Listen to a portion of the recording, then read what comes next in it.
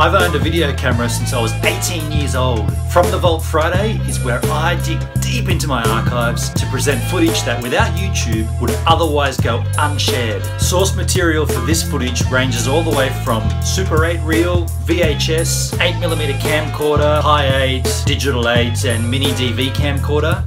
Here's a small amount of footage from Mona in 95. John Findlay, RIP, Pete Osty. You could be the focus of the flying board there. Yeah, it could be, eh?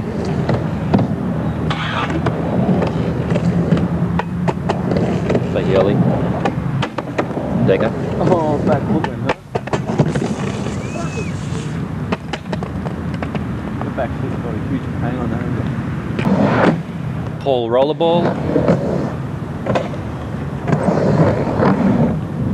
Flying boards, eh? Pretty positive, eh? He's speechless on the Gilgamesh review. It said something happened.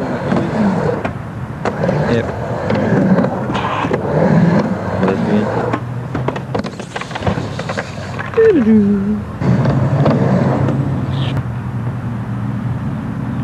And that's Gav filming from a distance. Not sure why. That's me. Sketchy footage, fun times. I hope you enjoyed that from the Vault Friday. How about that video quality though? Hmm.